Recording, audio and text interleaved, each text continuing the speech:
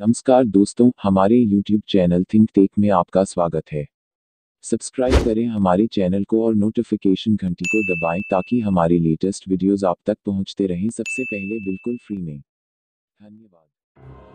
Cam scanner app काफ़ी popular है और फ़िलहाल इसे प्ले स्टोर से हटा लिया गया है। सिक्योरिटी कंपनी कस्पर्सकी ने कहा है कि इस ऐप के नए अपडेट की वजह से फ़ोन मेलवेयर से प्रभावित हो सकता है।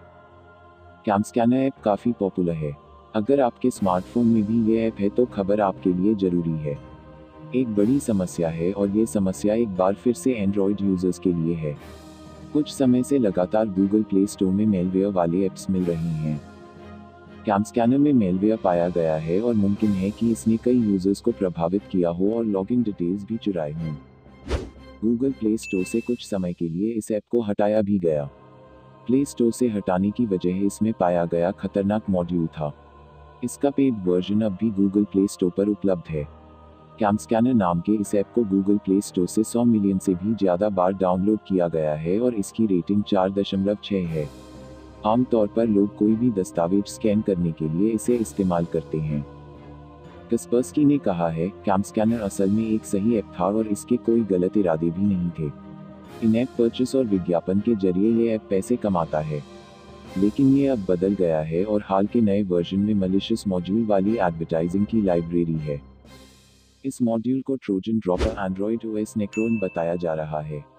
कुल मिलाकर समझने वाली बात यह है कि यह ऐप के अंदर ही दूसरा कंपोनेंट चला सकता है और इसका ट्रोजन डाउनलोडेड डिवाइस को मेलवेयर से प्रभावित कर सकता है। तो आपको क्या करना चाहिए? अगर आपके स्मार्टफ़ोन में भी कैम स्कैनर है तो मुमकिन है आपका डिवाइस इससे प्रभावित हो और ये आपके पर्सनल डिटेल्स को चोरी भी करता हो। जैसे कि आपके कॉन्टैक्ट्स बैंक डिटेल्स और स्कैन किए हुए दस्तावेज़ और भी बहुत कुछ। तो आप चाहें तो कुछ समय के लिए आप इसे हटा भी सकते हैं। चूँकि इस ऐप में दिक्कत नहीं है, इसके एक वर्जन में समस्या है। इसलिए जल्द ही कंपनी स्टेटमेंट जारी करके नए अपडेट के बारे में बताएगी। इसके अलावा अगर आपके मोबाइल में एंटीवायरस है तो फ़ोन को एंटीवायरस से स्कैन कर लें और अगर मेलवेयर मिलता है तो तुरंत इस ऐप को अनइंस्टॉल कर दें। दोस्तों, इस वीडियो में इतना ही।